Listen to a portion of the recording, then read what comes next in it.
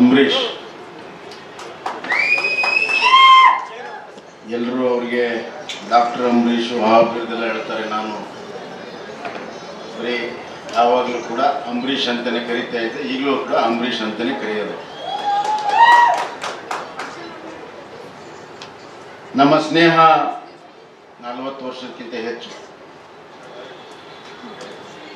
ಹಲವಾರು ಮಿತ್ರರಿದ್ವಿ.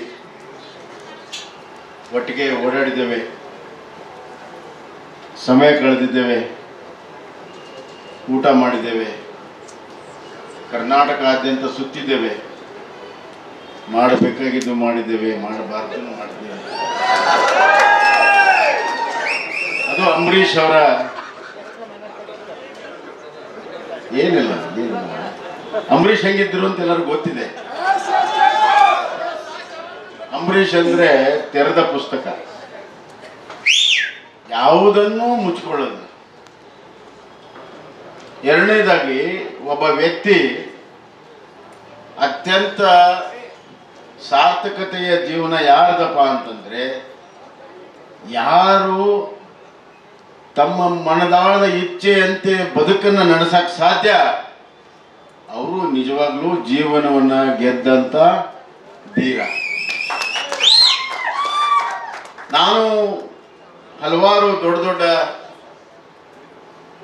ನಾಯಕ, ನಟರು, ನಿಜ ಜೀವನದವರು ಎಲ್ಲವನ್ನೂ ನೋಡಿದ್ದೇವೆ.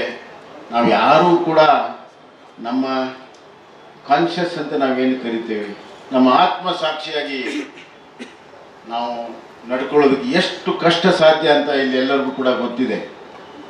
ಆದರೆ ಅಂಬರೀಷ್ ಅವರು ಮಾತ್ರ ಏನೇ ಬರಲಿ, ಯಾರೇ ವಿರೋಧ ಬರಲಿ, ಎಷ್ಟೇ ಕಷ್ಟ ಬರಲಿ ಏನೇ ಬರಲಿ ಆತ್ಮ ಸಾಕ್ಷಿ ಬಿಟ್ಟು ಎಂದು ಕೂಡ ಒಂದ್ ದಿವಸ ಕೂಡ ಅವ್ರು ಬದುಕಲಿಲ್ಲ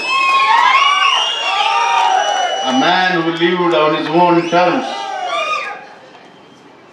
ತನ್ನ ಸ್ವಂತ ಇಚ್ಛಾಶಕ್ತಿ ಮೇಲೆ ಬದುಕಿದಂತ ಒಬ್ಬ ಮೇರು ನಟ ಅಂಬರೀಷ್.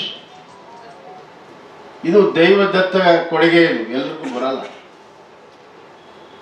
ಅತ್ಯಂತ ಆತ್ಮೀಯ ಅವನ ಬಾಯಲ್ಲಿ ಲೇ ಅಂತ ಅನಿಸ್ಕೋಬೇಕು ಅಂತ ಎಲ್ಲರಿಗೂ ಸ್ನೇಹಿತರಿಗೆ ಆಸೆ. ಯಾರಿಗಾದ್ರೂ ಬಹಳ ಗೌರವದಿಂದ ಮಾತನಾಡಿದರೆ ಇವರೇನೋ ಬಹಳ ದೂರ ಇದ್ದಾರೆ ಅಂತ ಅನಿಸ್ತೀವಿ ಎಲ್ಲಿ ಹೋಗಿದ್ದೆಲೆ ಅಂತ ಅಂದ್ರೆ ನಮಗೆ ಬಹಳ ಹತ್ತಿರ ಅಂತ. ಅವರ ಬಾಲ್ಯದಿಂದಲೂ ಕೂಡ ಹಂಗೆ ಬಂದರು, ಚಿತ್ರರಂಗದಲ್ಲೂ ಹಂಗೆ ಬಂದರು, ರಾಜಕೀಯ ರಂಗದಲ್ಲೂ ಹಂಗೆ ಬಂದರು. ಹುಟ್ಟದಿಂದ ನಾಯಕತ್ವದ ಗುಣ ಅವರಲ್ಲಿ ಇತ್ತು ಸಿನಿಮಾಕ್ಕೆ ಬಂದವ್ರ ನಾಯಕರಾಗ್ಲಿಲ್ಲ ಹುಟ್ಟದಿಂದನೇ ನಾಯಕರು. ಹೀಗಾಗಿ, ಸಿನಿಮಾದಲ್ಲಿ ಖಳನಾಯಕನ ಪಾತ್ರ ಪ್ರಾರಂಭ ಆದರೂ ಕೂಡ ಅವರ ನೈಜ ಗುಣ ಇರುವಂತಹ ನಾಯಕತ್ವದ ಪಾತ್ರವೇ ಅವರಿಗೆ ಶೋಭೆಯನ್ನು ತರುವಂತ ಕೆಲಸ ಆಯಿತು.